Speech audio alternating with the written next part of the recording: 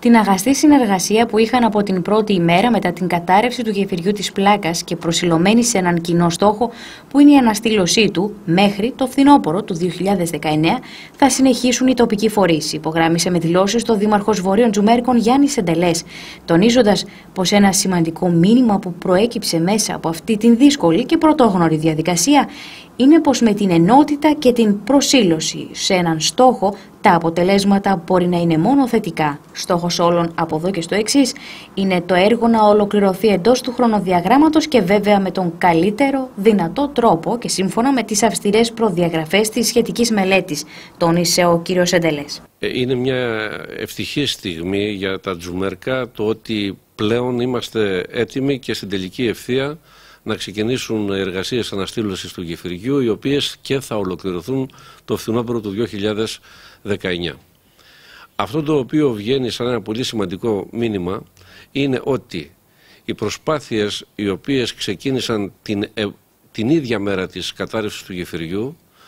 ε, και ολοκληρώνονται όπως είπα το φθινόπωρο του 2019 ήταν προσπάθειας μιας μεγάλης ομάδας φορέων συνεργάστηκαν τρία Υπουργεία της Περιφέρειας Υπήρου, του Δήμου, του Τεχνικού Επιμελητηρίου και ασφαλώς του Εθνικού Μετσόβιου Πολυτεχνείου. Όλο αυτό το χρονικό διάστημα η συνεργασία αυτή ήταν κάτι παραπάνω από αγαστή. Δεν, ε, δεν ξεφύγαμε ούτε μια στιγμή από τον στόχο μας. Ε, υπήρξε σοβαρότητα σε όλη την ε, προετοιμασία και γι' αυτό είχαμε και αυτό το αποτέλεσμα. Η συνεργασία μας αυτή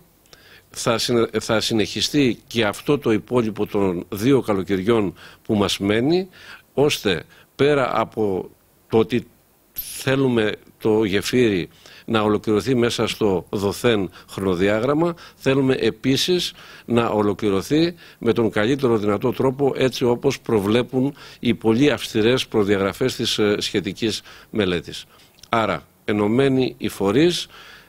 σε έναν, και προσιλωμένη σε ένα στόχο οδηγεί αυτό πάντα σε επιτυχία. Στη συνέχεια, ο κύριος Εντελέ κλήθηκε να σχολιάσει μια ανάρτησή του στα κοινωνικά δίκτυα σχετικά με τις προσπάθειες ε, που έγιναν τα προηγούμενα χρόνια και συνεχίζονται μέχρι σήμερα για την αναστήλωση της γέφυρας πλάκας, στο τέλος της οποίας τόνιζε πως οι φωνές των δύσπιστων ή κακόπιστων δεν θα ασυγήσουν, παρότι όλες οι διαδικασίες έχουν μπει στην τελική ευθεία. Έκανα αυτό το σχόλιο στα κοινωνικά δίκτυα ε, γιατί είχε ένα τέτοιο χαρακτήρα. Τα κοινωνικά δίκτυα μπορεί να εξυπηρετούν γενικότερα, δεν πάβει όμως να είναι ένας χώρος όπου ο καθένας μπορεί να λέει το κοντό του και το μακρύ του. Ε, θέλω να πω δηλαδή ότι ε, δυστυχώς έχουμε μια νοοτροπία, ε, κάθε τι το οποίο ξεκινάει να, μην, να, είμαστε, να στεκόμαστε απέναντί του κακόπιστα τις πιο πολλές φορές, ε, επομένως όλα αυτά τα σχόλια τα οποία υπήρξαν το προηγούμενο χρονικό διάστημα ίσως να μην ε, ερμηνεύονται σαν την βούληση κάποιου να μην γίνει αλλά σαν αυτή την κακή συνήθεια που έχουμε σαν ε, Έλληνες ε, πάντα να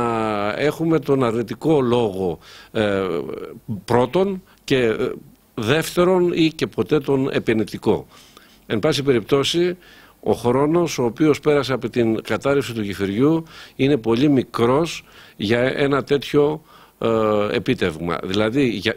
για πρώτη φορά στην Ελλάδα τουλάχιστον να έχουμε αναστήλωση ενός μνημείου του μεγέθους του γεφυριού της Πλάκας. Αυτό είναι πάρα πολύ σημαντικό και νομίζω ότι όλοι μαζί θα το χαρούμε του χρόνου το φθινόπωρο όταν θα δούμε το γεφύρι πάλι να στεφανώνει τον Άραχθο. Στη συνέχεια, ο κ. Εντελέ υπογράμμισε πω σκέψη και επιδίωξη της Δημοτικής Αρχής είναι αφενός να υπάρξει ένας ε, θεματικός εκθεσιακό χώρος στην περιοχή της Πλάκας, προκειμένου να αναδειχθεί όλη η δουλειά που έχει ήδη γίνει και θα γίνει μέχρι την τελική αναστήλωση του κεφυριού. Αφετέρου, να δημιουργηθεί ένα μουσείο για την τέχνη των μαστόρων της Πέτρας. Οι σκέψεις αυτές είναι ακόμα ανοιχτές, ε, είναι υποσυζήτηση. Ε, δεν έχουν δρομολογηθεί, είναι η αλήθεια, ε, σε κάποια κατεύθυνση. Ε, όμως είναι πάρα πολύ σημαντικό και νομίζω ότι αυτό θα πρέπει να προσπαθήσουμε να το κάνουμε. Ε, δηλαδή όλο αυτό το εγχείρημα της αναστήλωσης του γεφυριού να μην μείνει μόνο στο γεγονός ότι θα έχουμε πάλι το γεφύρι πάνω από τον Άραχθο, αλλά να έχουμε έναν εκθεσιακό χώρο, ο οποίος μπορεί να είναι και σε εσωτερικό χώρο και εξωτερικό και ε, να αναφέρεται καταρχάς σε όλη τη διαδικασία της αναστήλωσης, να υπάρχει δηλαδή ένα ντοκουμεντάρισμα όλης της προσπάθειας που έγινε από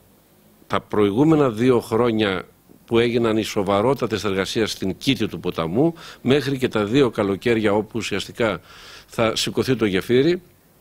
αλλά επίσης να, ε, τα κομμάτια του γεφυριού τα οποία είναι πεσμένα να μπορέσουμε να τα εκθέσουμε με έναν τέτοιον τρόπο ώστε η σκέψη μας είναι η εξής ο μεταλλότυπος ο οποίος θα στηθεί